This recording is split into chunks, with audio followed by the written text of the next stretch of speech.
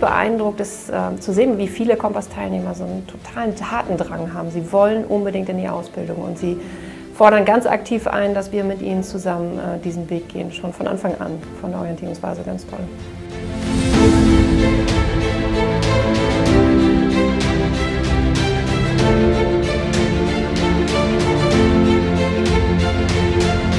Die beeindruckendsten Momente für mich sind immer die, wenn es klingelt, wir öffnen und vor der Tür steht ein Kompass-Teilnehmer, ein ehemaliger, der schon längst nicht mehr im Programm ist.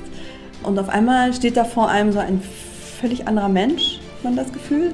Äh, der hat sich total weiterentwickelt, der spricht auf einmal sehr gut Deutsch, ähm, der führt ein eigenständiges Leben, ist zufrieden mit seiner Ausbildung. Die haben dann immer einen riesen Sprung gemacht und das finde ich immer total berührend. Ja, ich freue mich total, wenn die kommen. Offizielle Kick-Off-Startfeier von Kompass in der BMW-Welt damals. Davor waren echt ein paar Monate harte Arbeit von allen Seiten, ähm, bis das Ganze gestartet ist. Und ich denke so, der bewegendste Moment war wirklich, als die Teilnehmer auf der Bühne dann das Theaterstück vorgeführt haben, das wir mit Philipp Heines eben zusammen eingeübt haben, der uns da unterstützt hat.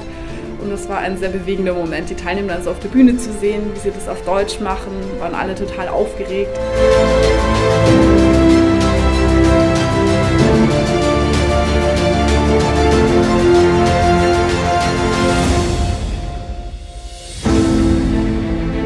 Also was mir wirklich nach wie vor sehr, sehr imponiert, ist die Einstimmigkeit, mit der wir damals 2015, im Übrigen im Frühjahr, den, den Entschluss gefasst haben, Kompass aufzubauen. Das wurde mitgetragen von allen Jobklinge-Mitarbeitern, aber auch von, von unseren Partnern, von den Gremien, ähm, aber auch von den Unternehmen und der öffentlichen Hand. Und ich glaube, wenn wir immer wieder hören, dass die Flüchtlingskrise das Land äh, gespalten hätte, dann kann man sagen, Jobklinge hat es nicht gespalten, ganz im Gegenteil. Ich glaube, es äh, zeigt einmal mehr das, was uns eint, nämlich die Überzeugung, dass wir ja, Herausforderungen am besten begegnen, indem wir gemeinsame Lösungen schaffen.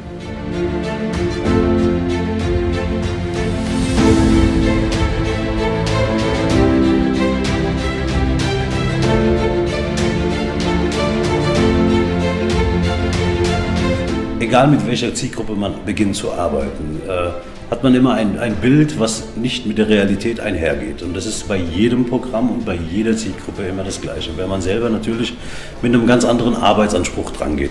Was kann ich vermitteln, was kann ich gut vermitteln, äh, verstehe ich die Zielgruppe ausreichend, um meinen Auftrag zu erfüllen. Und da ist Kompass nichts Besonderes äh, in dem Falle, wenn man das alles unter dem Gesichtspunkt sieht. Aber es ist natürlich was Besonderes, weil es eine ganz konkrete Situation eines Menschen, also weiter schwieriger und herausfordernder kann die Ausgangslage für diesen Menschen in dem Anfangszeit nicht sein. Und da denke ich, ist es immer gut, äh, wenn man auch das nochmal als was Besonderes hervorhebt. Zukunft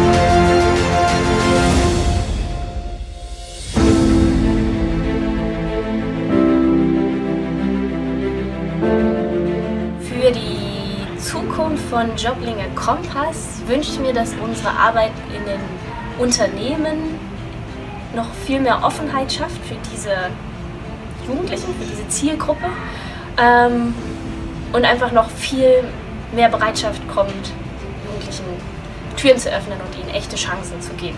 Ich würde mir wünschen, obwohl es ja schon ähm, sehr oft stattfindet, aber dass wir noch mehr, weil ich jetzt eben auch im Klassikbereich arbeite, noch mehr ähm, Programme bzw. Aktivitäten zusammenführen zwischen Klassik und dem Kompassprogramm.